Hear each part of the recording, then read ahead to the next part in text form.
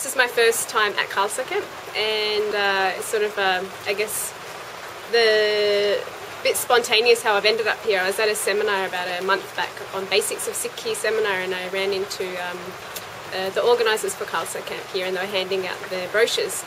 So uh, I thought, why not? What a great way to spend a one week vacation. So I took some time off work, and here I am you hear all these guest speakers that have come in around from the world and you're like wow that's an amazing story. And you feel like nothing can top that but the next day you hear another great story and it's like wow. So i think each day it's just it's amazing each day isn't it? And everyone's got their own stories. I, I love the amrit vela and i love the evening um, art sessions like uh, amongst the sangat uh, it's amazing you it takes you to the next level. I haven't experienced anything like that and you know what, that's what I do look forward to the most.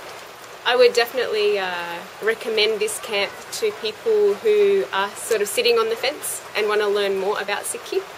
Uh, I guess that's kind of where I was when I stepped into this campsite. Um, but this is nearly the end of it now, and um, I am just driven to stay on the path. And with Guru's Kirpa, who knows?